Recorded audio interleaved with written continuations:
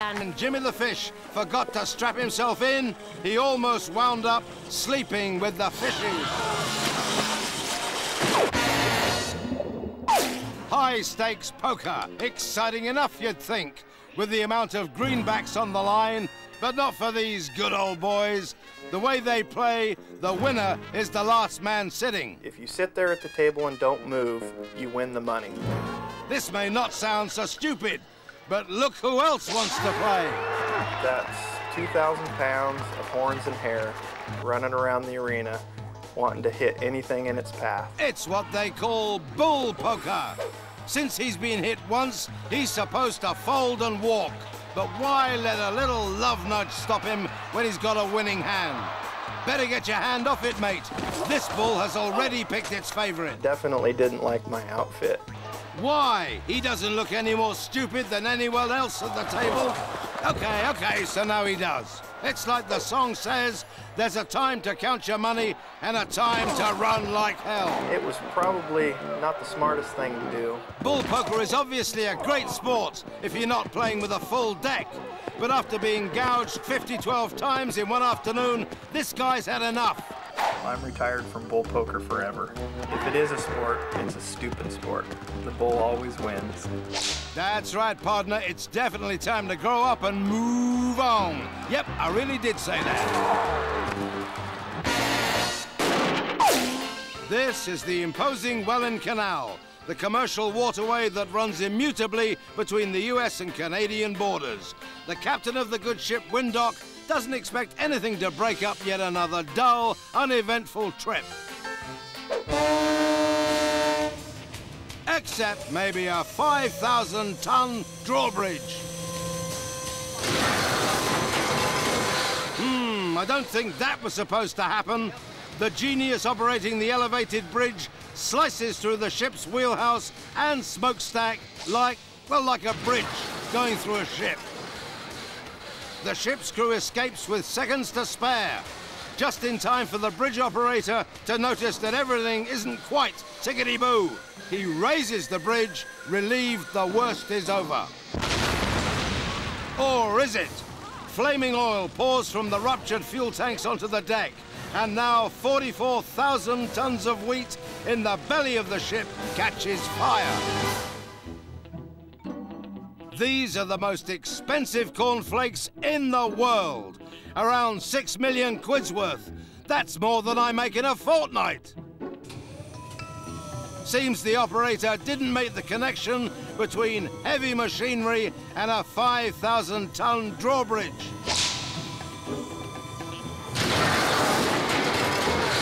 A symphony in chaos, conducted by a pillwit.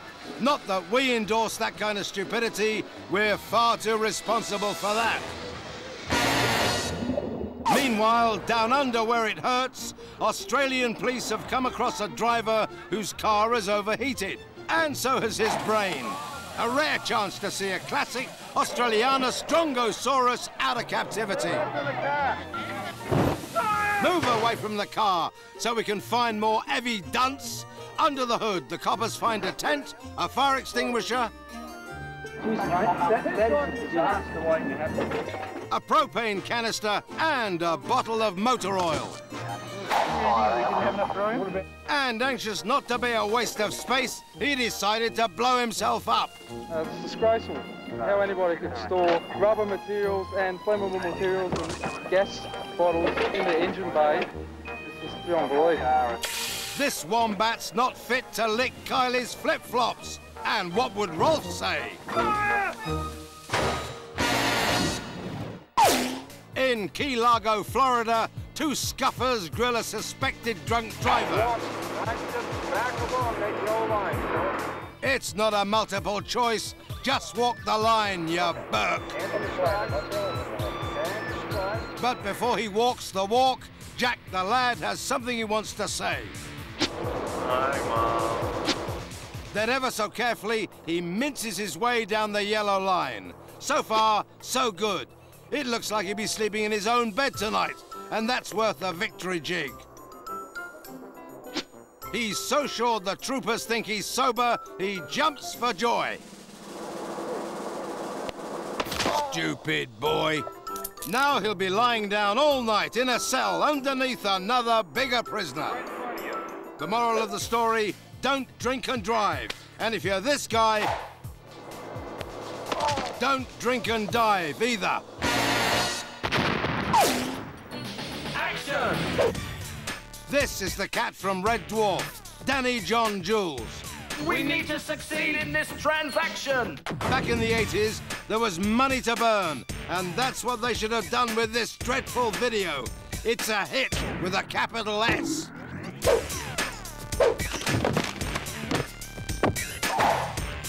Looks like the ragamuppet can't see the forest for the trees.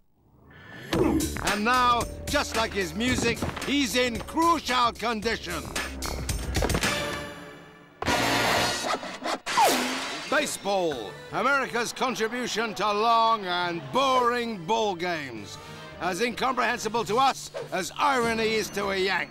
Suffice to say, at this game in Colorado, the batsman is hoping to end a dry spell. Result! So where's the groundsman? Hiding behind the hedges with his hose in his hand? Now the lazy dotter's at home with the key to the sprinkler's timing system in his pants. What's he got to say for himself? I had neglected to cancel out the 9 p.m. start time on the controller.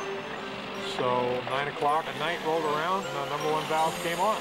It took him a leisurely 30 minutes to get to the stadium, by which time the home side got its proverbials together and trounced the visitors. So the groundsman was a pain in the grass for the opposition.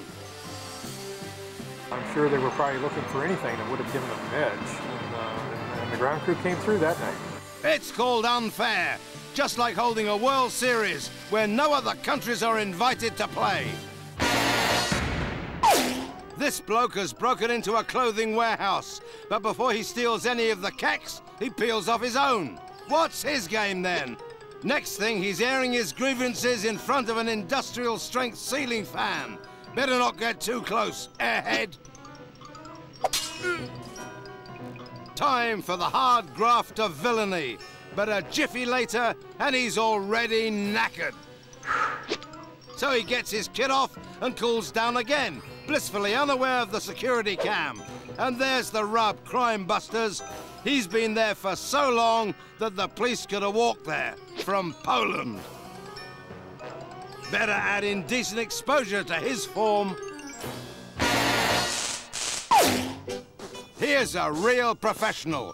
Professional div, that is. The floater in the boater is actually a newsman, trying to finish a television report about fireworks safety. So, ignoring every safety rule in the book, he tapes his report. More about the fireworks business tomorrow night as we salute a safe and sane fourth in part two. He's not too pleased with this take, and as he reckons this report is Pulitzer Prize material, he decides to shoot it again and up the ante on the gunpowder. He lights the fuse, and here comes the money shot. Have a safe and sane. The reporter's hair turned white after the experience. Okay, 15 years after. Uh, he'd uh, safety first. I would be back, oh, about 10 or 15 feet away, and I'd probably be wearing goggles. Or an aluminium tinfoil hat. That's the closest this hack ever got to a war zone. Jeez. Here's something you don't see often a children's show host taking off his pants on live TV. Send in the clowns, send in the police more like. But it all started when our host met a very special guest. Bro, this is Slim. Slim's a bull snake. But this snake charmer is strictly amateur night, and somehow she lets her reptile slip into Willie's pants. What, we wonder, was the attraction? I assume it, assume it was looking for a cooler, darker place to get into, and I was it. So, what was running through the painted fool's mind? I was hoping it didn't get into the shorts. Ever the clown, he tries to smile while the 12 foot snake wriggles around his unmentionables. So it's down trues, and out comes 12 foot of reptile. And only one question for the dozy snake charmer What did your last serpent die of? After the break, a poltergeist, an alien within, or just Fluffy? It's not the elephant who'll never forget this moment. Plus, a BMX biker ramps up the stupidity to a higher plane.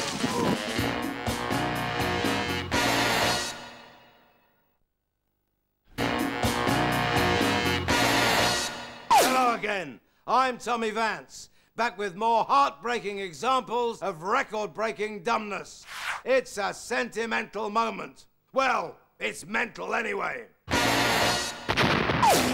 Flush Fernandez, hey, hey, is a BMX bandit, and his name indicates where his skills are about to get him down the toilet. Here on a fateful Southern California afternoon, Flush is hoping that a homemade ramp will launch him into the record books. I personally build my own ramps, and uh, this one was, I know, the right one to get up on that. After at least a weekend of meticulous planning, Flush hopes to jump onto the roof of this apartment building. Here to bust the big one, show 'em what's up. Word up! Holmes! First he takes a couple of practice passes, and now everything is looking pucker for the big jump. But Flush decides it's all looking too easy. How about tying a rope to the back of his buddy's van to make things more interesting? That's interesting as in stupid. It's death or glory time for old Flush as the van speeds down the street. Set the coordinates for the heart of the sun. Bish, bosh, crash, bang, wallop. First thing I know, I'm in the air. Next thing I know, I'm slamming in the side of the building. And plunging headfirst into a large cactus. Mmm, prickly. Remarkably, he walks and nothing's broken. How could this brilliant plan have failed? I had no preparations. I just do the most outrageous stunts that anybody's ever seen in their life. To see how this miserable stunt looked from the Flushmeister's point of view, let's check out the helmet cam.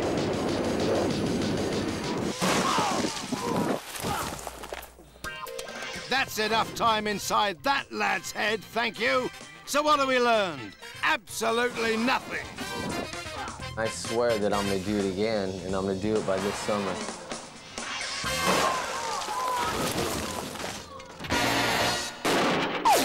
Meanwhile, in the wilds of Arizona, they're shooting a commercial for a car dealer featuring a real-life family. How modern. My dad bought this car from Don Sanderson Ford 30 years ago. David Kimberly worked on the lube rack then. My daughter just bought this new Taurus. Come on, babes. Just do it the way we showed you. Don Sanderson Ford. Look, cut. Where do they find these people? It looks like this Bobby Socks bimbo doesn't take direction well. At least when it comes to forward and reverse. Sisters Terry and Suzanne believe an intruder has entered their home, and they're extremely frightening. Uh, frightened. The Twisted Sisters prepare for battle. I need my helmet and my shield on. Terry's husband chooses to remain bravely behind the camera while they corner the suspect in the Kazi. But do they have the bottle to look their intruder in the eye? It's a baby bird.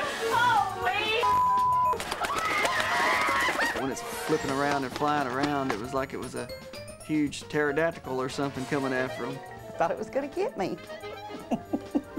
But the girls don't brick it yet. They reckon they can catch Tweety Bird themselves. I don't know. Plan B, call the fire department. They had him out in no time at all, really. We'd done all the hard work. To look back at it now, we looked really, really silly. Her husband doesn't exactly come out looking like a green beret, a brown beret, perhaps. We cross now to a Western-style wedding. The only thing missing is the shotgun. It all goes off without a hitch. Soon they'll be riding off into the sunset together. But the groom forgot to tell his new bride not to wear stilettos. She accidentally digs her heels into the horse's belly, and it's out of there like a robber's dog. Not a good day to get dumped. Fortunately, romance fans, her puffy meringue wedding dress took the brunt of the fall. But she let Tex Pistol know that if he tried this stunt again, there'd be no horsing around on their honeymoon.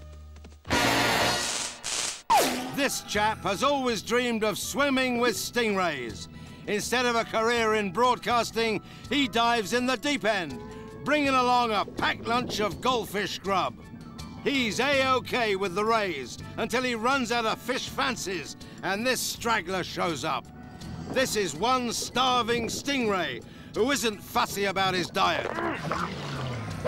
At least the bloke will have a funny story to tell his kids, if he's still able to have any.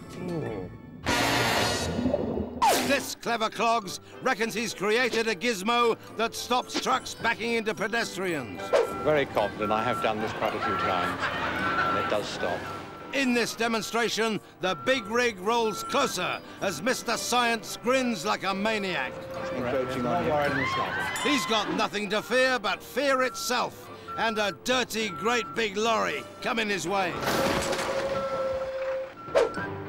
Yes, it's right back to the old drawing board after the lorry driver gives him a ride to A&E. After an all-night bender, this joker decided to sleep it off in his car. But his anti-theft system is idiot-proof. And oh dear, he's an idiot. Yes, he's locked in his own car. The scuffers arrive when they hear his pathetic honks for help. Is, is there anything in there about the locking uh, me mechanism? After studying the form, the Highway Patrol finally get a chance to put into practice what they learnt at Grand Theft Auto Night School. There's nothing for it but a spot of breaking and entering. The bloke with a hangover shimmies out, then gets ready to big it up for the media. Don't drunk, don't drive and drink. That's about Clearly a deep thinker. He'd sobered up enough that the Rozzers had to let him go. Besides, he'd already done his time in solitary. During a rock concert, this local radio DJ decides to try his first ever stage dive. The shirtless show-off expects his adoring fans to catch him. But he finds out the hard way. He doesn't have any fans and the help hauls him away to a full recovery. If this peroxide plank didn't have a face for radio before, he certainly does now. We go now to the exciting world of faffing about in tights. This gymnast may not take home a gold medal. In fact, after this, he may not have a home. But showing a little skin isn't the way to sway the judges.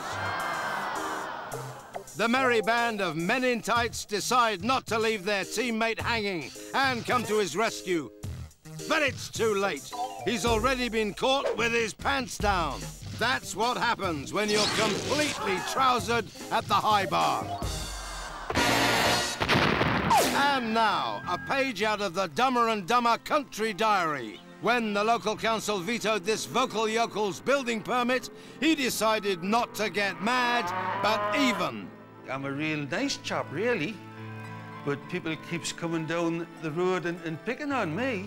And so he ventures forth from his farm for the first time since the pig died.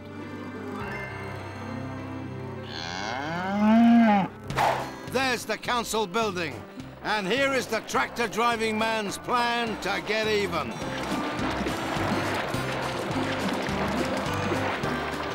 Before you can say shh, he's covered the once pristine building in eight tons of manure. Now that he's left his smelly brown business card, he might as well make a follow-up call. There's just one bijou problemette. He sprayed the wrong building. Excellent mudslinging skills there, Squire. But he's totally, uh, cack when it comes to reading an address. You could see by the look on people's faces that they were wondering why, why I was there. People thought I was some kind of idiot. Because, in fact, you are some kind of idiot. the old Bill invites the mudslinger to visit their HQ. And, uh, explain his movements. Finally, as we know, taking care of elephants can be a risky business. There's many ways to get injured by an elephant, um, getting stepped on or crushed. Sometimes they can swat at you with their trunks, but there's certain precautions we take as professionals. But not everyone's a pro. Exhibit A, a zoo in Mexico. While this daydreaming hombre sweeps out the elephant pen, he ignores the first rule of elephant care. Watch your back, or at least watch the elephant's back. Ah, so, this is where the sun don't shine in Mexico. Big Ears squeezes him out like a, like a, well, like a... Okay, use your imagination. That's it for this edition of Dumber and Dumber. If you've enjoyed the show and feel you've learnt something along the way, you must be ill in the head. Stay dumb. You know it makes no sense. Nobody looks in their mirrors more frequently than I do. I probably do. That's a good idea, isn't it? And who is the worst of the worst? We find out next in the final edition of Britain's Worst Celebrity Driver coming up.